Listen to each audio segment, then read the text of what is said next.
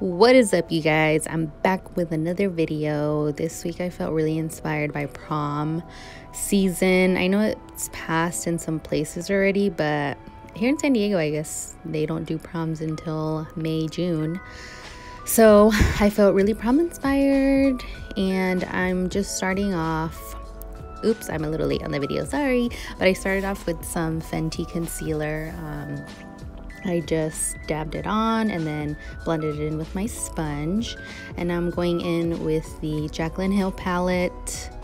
I'm going in with the color Jacz and I'm taking that in the crease.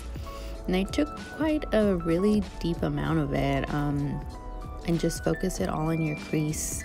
Um, and then we're gonna build our way up to fade it out but really try to focus most of the color into your crease and darken it up really good Really quick, right now while I have this gap. If you're gonna get your makeup done for prom or a wedding or whatever, make sure you moisturize really good before you go get your makeup applied because it's gonna be a long day. You're gonna be sweating from dancing. You need to moisturize.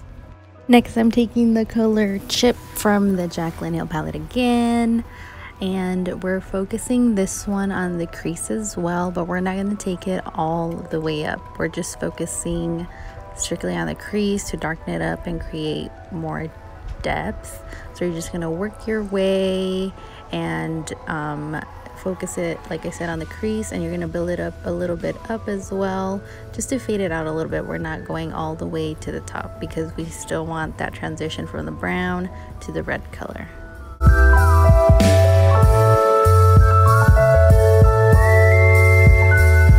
The same brush I used to apply the color Jacz, I'm going back with that and blending out the harsh line of the brown.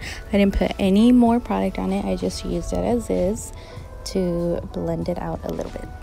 So I have another tip. If you're getting your makeup done before your makeup artist starts always let them know what you like and what you do not like. So then that way you don't end up with something you hate. So please be vocal. Let them know what you like what you don't and then go from there now I'm going to go ahead and cut my crease. It's not a full cut crease, it's just like three fourths of the way.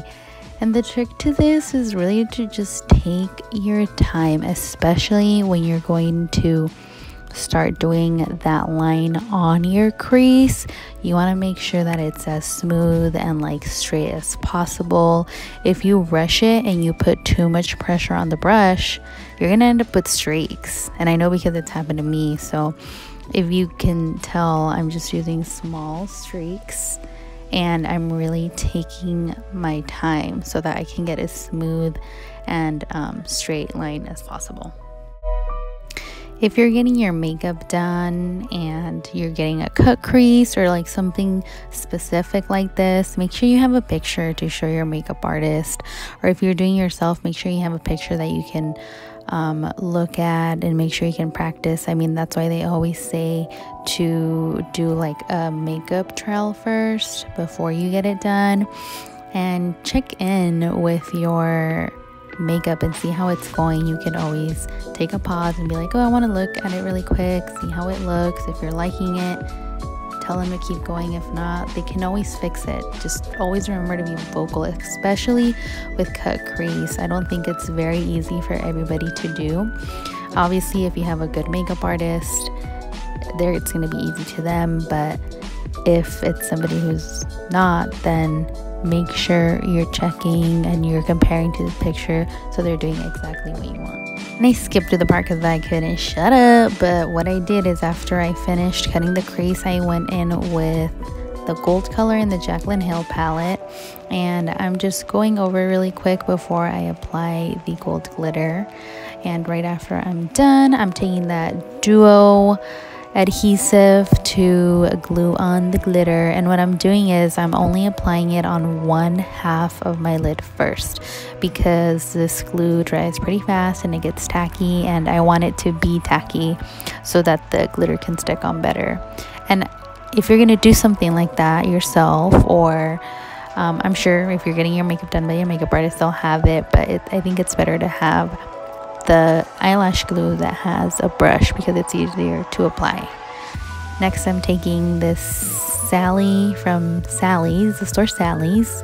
They have glitter there. I think it was pretty cheap. Can't remember the price. I'll leave it down below, but I'm taking glitter and I did wet the brush a little tiny bit with glue so the glitter could stick to it and then I'm just patting it on very lightly nothing crazy and I'm going again with that glue to do the other half of my lid and again I'm patting it on and especially when I get to that crease make sure you use the tip of the brush so that you can get the glitter into that crease with the tip and not um, put the glitter all over your eyelid. I'm going in now with a Revlon eyeliner. And this one is pretty matte. And I actually like this one because when I first did my eyeliner on the other side I did it with the e.l.f. liquid eyeliner. And it was too I don't want to say watery but it didn't cover up the glitter. And this Revlon one will go over the glitter and cover it. Um, it'll take you about two layers but it will do the trick. So also try not to swipe so much with the brush. Um, try to like pat it on at first when you're making that line and then go and do go ahead and do strokes simply because you don't want that glitter to be all over the place but make sure you're doing soft stroke um, and you're gonna have glitter showing. It's okay. All you gotta do is let the eyeliner dry a little and then do another layer and then just keep on going until you feel satisfied with the look. I only did about two to three layers um, because then I'm gonna add eyelashes after so it doesn't look as bad the same brown color that I used earlier, Chip from the Jaclyn Hill palette. I'm going back in and darkening up the crease again. Um, I know I did lose a little bit of that depth once I applied the glitter and cut the crease. So I'm just going back in with that same color and adding a little bit more depth again. And then since I added some more darkness, I messed up a little tiny bit. So I had to go back in with the glitter. I don't know if you can tell at the very top. Um, I went a little too overboard with the dark and I got some on the glittery spot. So I went back in. Then I just blended it out. The brown, I went ahead and blended it out again so we get that gradient look going on. With the same brown color chip, I'm going in on my waterline and I'm only going on the outside. I'm not actually going in as you would with a black eyeliner. I'm just lining it so the lashes can pop out a little more. Um, I like it when my bottom eyelashes look a little popped out. They just look much cuter and it sets the whole look. Then I'm going to go in and highlight my inner corners with the color Beam from the Jaclyn Hill palette.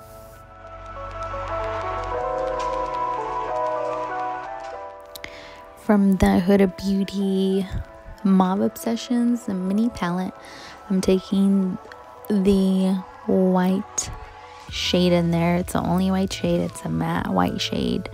And I'm taking that to highlight my eyebrow bone.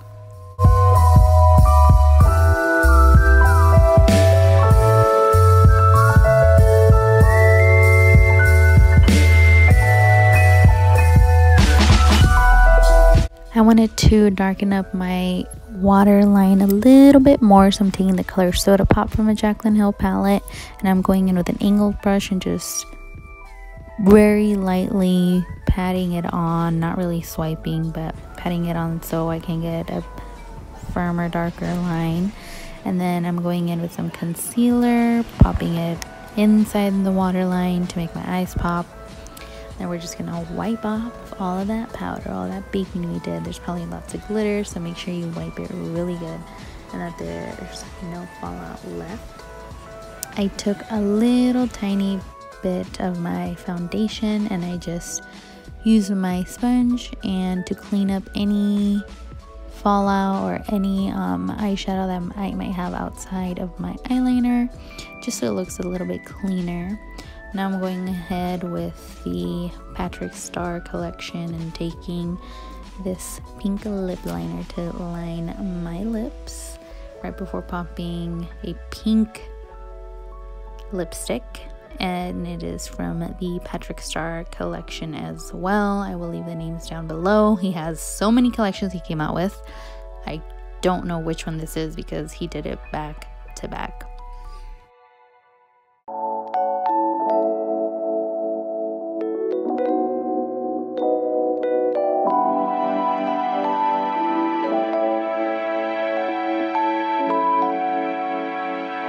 To top off the lips, I'm going in with my favorite, current favorite lip gloss of Wet n Wild in the color Send Nudes. And this is just really toning it down. I know the pink looked a little crazy at first but this nude really tones it down. But you can still see the pink so it makes it all look really pretty and well put together and that's it. This is the final look.